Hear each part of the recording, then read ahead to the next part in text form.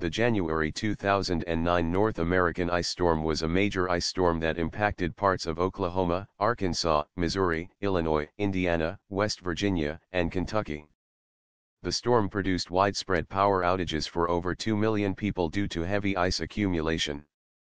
The hardest hit areas were in western Kentucky with over 500,000 residences without power during the height of the storm, including 100,000 without power for over one week, and northern Arkansas, with 300,000 residences without power. Most deaths were attributed to carbon monoxide poisoning due to power generators or kerosene heaters being used indoors without proper ventilation. Kentucky Governor Steve Beshear called up the entire Kentucky Army National Guard to deal with the after effects of the storm, the largest National Guard call up in that state's history.